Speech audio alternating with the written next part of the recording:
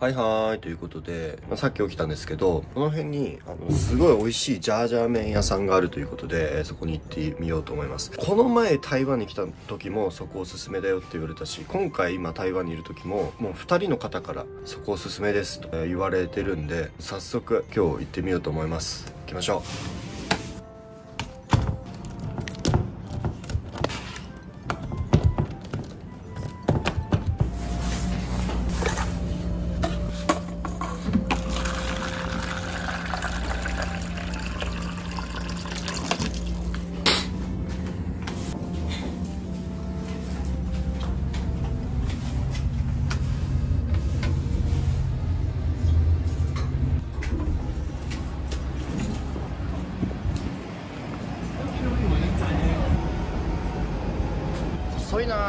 すごい細い道を歩いてます。いいね。こういう路地裏好きです。子供の頃はこういうとこに住みたいって思ってました。うわあこれか。おじさんに日本語のメニューをもらいました。まあいろいろ書いてますけどどれ？ジャージャー麺。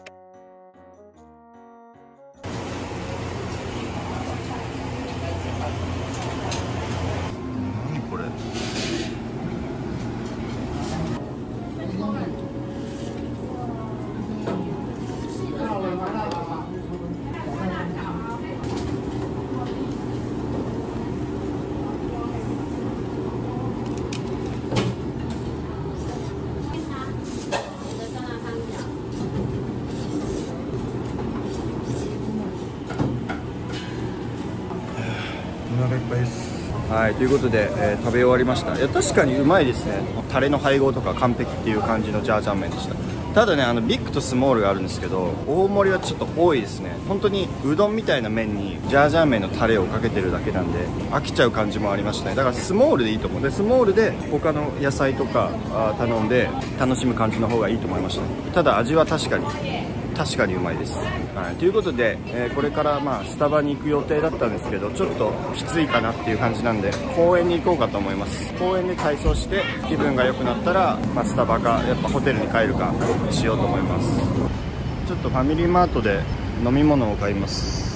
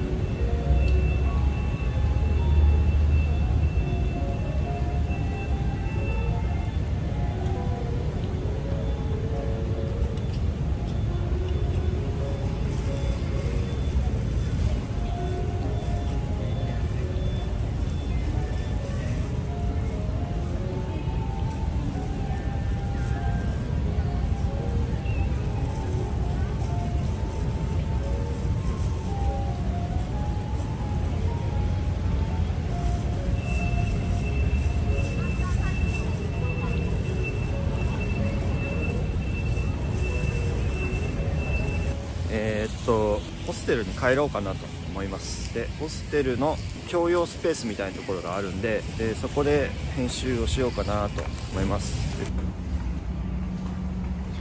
はい。でここが共用スペースになってるんで自由に使えるんでね。ここで編集をしたいと思います。いやこのホステルね安いんですよ。インキューブっていうホステルなんですけど2000円もかかってないの。1泊1000 900円ぐらい。ただ僕なんかブッキングドットコムのなんていうのレベル2会員なんでちょっと安く泊まれてるっぽいんですけどそれであの個室ですからね。個室の部屋でこういう共用スペースもあってで洗濯機もあるし水もタダで飲めるし非常に気に入ってます。あと立地もすごいいいんでね。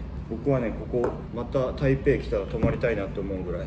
今までで一番いいかもしれない。やっぱ個室っていうのがでかいね。ですね。ということで、えー今からですね、まあ、編集をしていきますので、えー今日の動画はねこんな感じですかね。ということで現場から以上です。また明日会いましょう。